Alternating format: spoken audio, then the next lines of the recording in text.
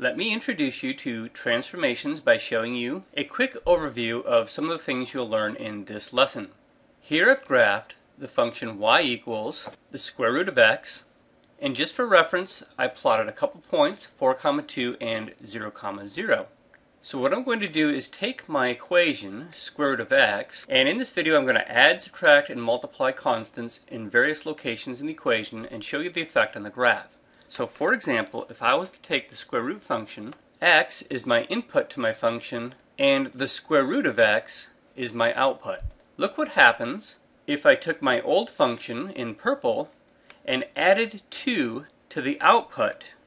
Then the purple graph would be transformed into the orange graph, and it's clear to me that all of my points got shifted up 2. For example, 0, 0 is now 0, 2, and 4, 2 is now 4 comma 4. If I wanted to move the purple graph down 2, I could have simply subtracted 2 on the output, and my original function in purple would have been transformed into the orange, and they're related such that the orange graph is 2 units down relative to the purple. So instead of having 4 comma 2, for example, that point got mapped to 4 comma 0. Now let me show you that if you were to add 2 or subtract 2 to the input of the function, not the output, meaning I want to add 2 to x, such that the plus 2 occurs under the radical. So think of it as the 2 is being added to the input of the function as opposed to adding 2 to the output. Now my original graph in purple has been transformed to the orange graph and the relationship looks like the orange graph was obtained by taking the purple graph and shifting it to the left 2. So for example, 4 comma 2 got moved to the left and is now 2 comma 2 on my transformed function. And if you want, 0 comma 0 has been moved to negative 2 comma 0. In contrast, had I wanted my orange graph to be a transformation of the purple to the right 2 units, I could have subtracted 2 to the input, and indeed my graph would have been moved to the right 2 units. 0, 0 becomes 2 comma 0. 4 comma 2 becomes 6 comma 2. Let me show you a few more. Another transformation I want to look at is if you were to take a function, here's its output, if I were to multiply it by a negative 1, what that would do is change the signs on my outputs. So for example, all of my outputs have the opposite sign. So for example, 4 comma 2 has an output of 2. Since I changed the sign on the output from 2 to negative 2, 4 comma 2 gets mapped down here to 4 comma negative 2. The x values are the same, but the output has changed its sign. It's exactly what I did over here. I did not change the input. This was x, this was x, but I did change the output such that its sign would change. This is called an x-axis reflection. You can think about it this way. Suppose you took a blank piece of paper and took wet purple paint and painted this shape, then folded the piece of paper about the x-axis. That paint would come down here and smudge, although it'd be purple, not orange, but it would have this shape down here. So the next transformation I'd like to look at would be, what if you didn't fold a piece of paper about the x-axis? What if you had purple wet paint over here in this shape, and you folded the piece of paper about this axis here, the y-axis? This can be obtained by not changing the sign on the output, but changing the sign on the input. So here's my input x. I want to change its sign by putting a negative out there. And indeed, we get exactly what I said if this was wet purple paint and we folded the piece of paper about the y-axis, this paint would smudge over here. And you can think of it as, if you wanted the y values to stay the same, you would have to change the sign on the x. So for example, this point has a y value of 2. If you looked at the point over here whose y value is 2, you'll notice that the x value is the same except opposite in sign. Instead of 4, it is negative 4. So this time the signs on the inputs change, but the signs on the output do not. We refer to this as a y-axis reflection. It's important not to use words like mirror image.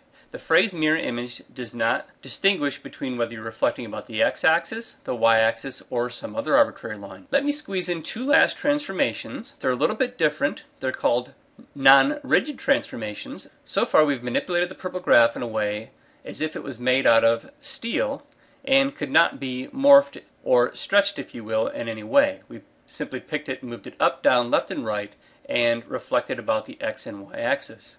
In my last two examples, we multiplied by a negative 1, I'd like to look at what would happen if you took your output and instead of multiplying by a negative 1, you multiplied by the number 3. What would happen here is that my output, square root of x, has now been tripled. We took the square root of x, the output, and tripled it. So what happens is the x values, or my inputs, stay the same, but my y values are tripled. So for example, if you were to focus at this point here, it has an x value of 4. If you kept x the same and looked on the orange graph, notice that the x value is 4, but my y value is triple. Instead of having an output of 2, my output is now 3 times that, namely 6. So if you were to keep an x value the same, they're both 4, your output would triple simply by the fact that I took my output of my function and multiplied by 3.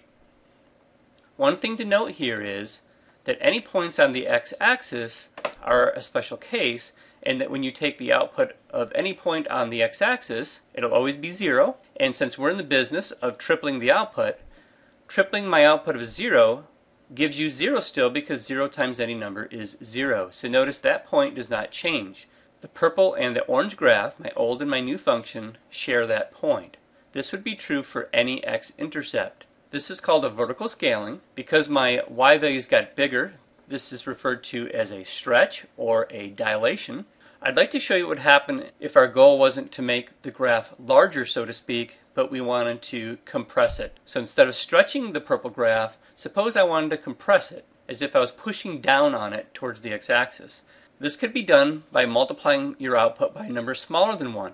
In my last example, I put a 3 there, which is bigger than 1, Multiplying by numbers bigger than 1 makes the outputs bigger.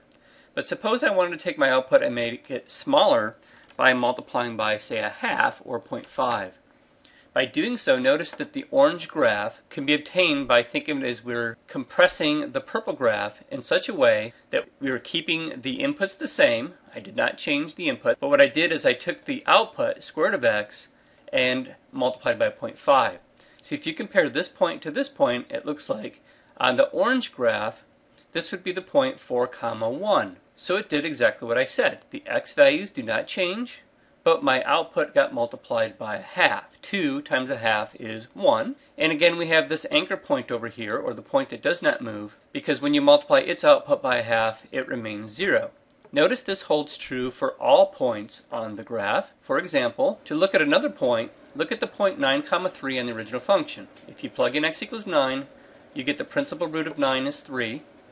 What I did is take my function and multiply its output by a half. So the output of 3 should be multiplied by a half, and it should be a y value of about 1.5. And if you scroll over, you can see it is 1.5. Looking at points that have the same input, notice that the outputs got cut in half.